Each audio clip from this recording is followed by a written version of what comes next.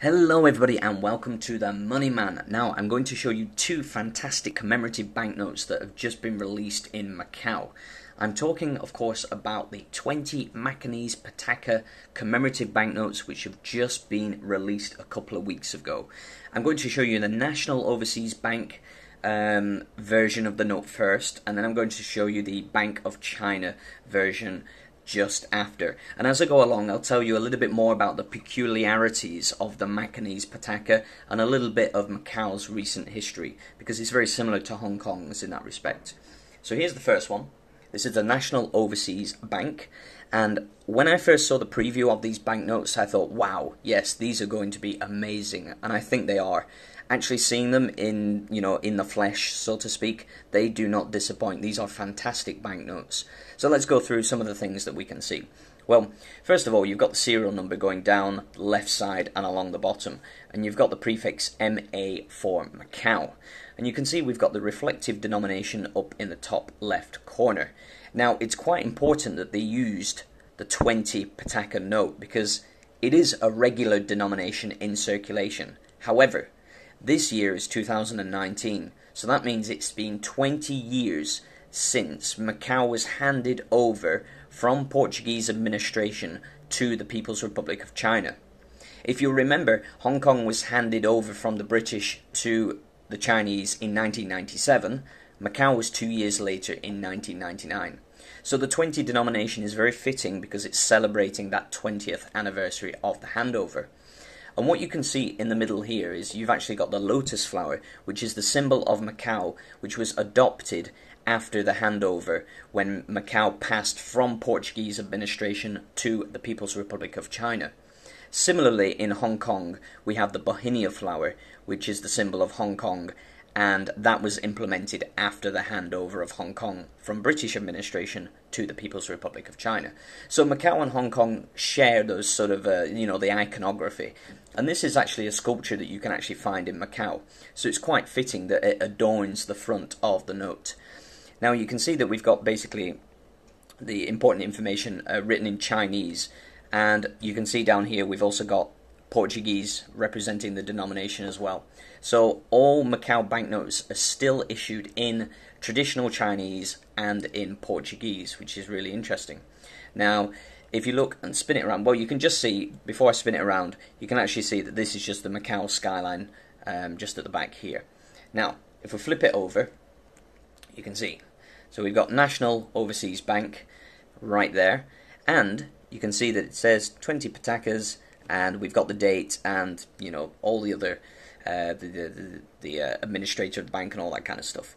So now, what is this here? Well, this is the Macau Hong Kong Zhuhai Bridge. And this was a massive project that was just recently completed this year, and it's an, a ginormous bridge that connects um, mainland China, Zhuhai, uh, to Macau and Hong Kong. So it's basically like the umbilical cord that is connecting the special administrative regions of Macau and Hong Kong to the Chinese mainland. So it's a very, very iconic, important part of the new unified China. And there are some, basically, these are. Um, facades of important buildings in Macau just along the top here. Uh, this is basically the facade of a historic church face that still exists in the center of Macau today. Uh, so there's a lot of small imagery in this banknote. You've got basically the contrast of the old and the new. And I said this before in other videos, I really love that in banknotes where you've got the contrast of the modern and the old. Very, very nice. The colour scheme is fantastic. The simplicity is fantastic as well. You've got these bold images, but they're subtly overlaid with images of the past. I really love that. So I think this is a very simple banknote in many ways, but it works brilliantly. The harmony of the colours is very, very nice indeed. So for me, this is an absolute winner and highly, highly collectible, as any Macanese Patacas are. So that's the first one. That's the National Overseas Bank. Now you'll see the second one is almost the same, and I'll explain why in a minute. But here it is. So this is the Bank of China one. You can see we've got the Bank of China building right here. It's pretty much the same thing, okay, in all respects. The design is pretty much the same, apart from the uh, the central uh, bank buildings uh, representing the different commercial banks. That's all that's really different. Spin it around and look at the back. You can see we've got pretty much the same thing, apart from instead of National Overseas Bank, we've got Bank of China with the Bank of China logo right there. And interestingly, the Director General uh, is written his name in Chinese, um, so that's quite interesting.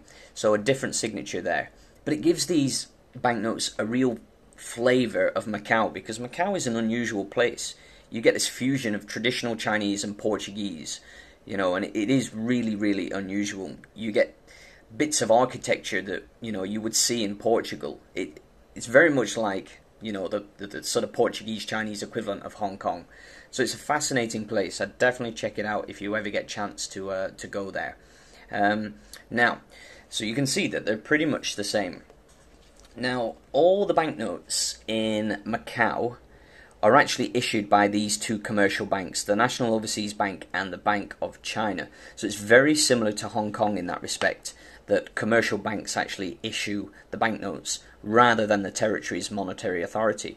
The monetary authority in Macau deals with coinage, um, just like Hong Kong's equivalent. So, yeah, interesting thing to note there. Now, these banknotes, why are they so difficult to get hold of? The Macanese Pataca. Many, many people ask me for these banknotes, and they are not easy to get hold of.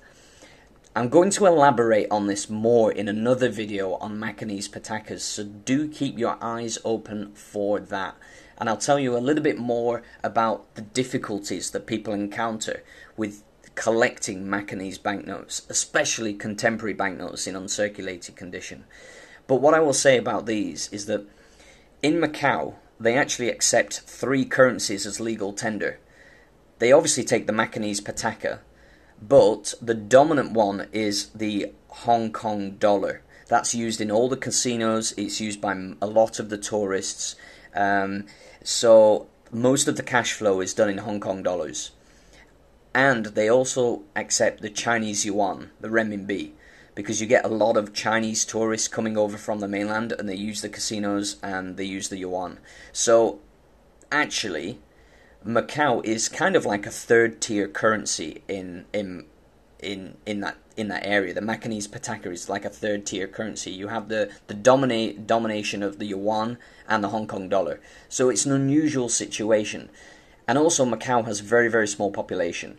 Um, so the number of notes in circulation regarding the Macanese Pataca is not as high as you would think, okay?